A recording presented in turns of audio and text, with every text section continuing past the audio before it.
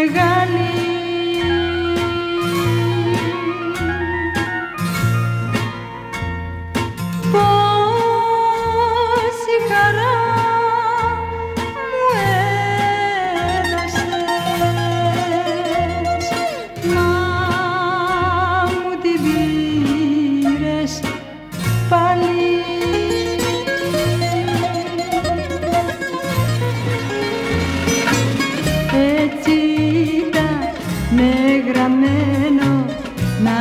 ξεχάσω στη ζωή.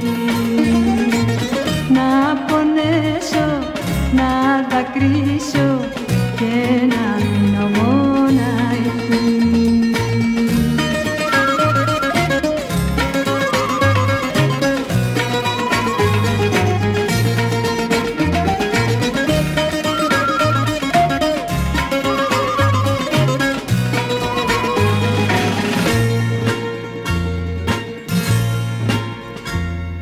大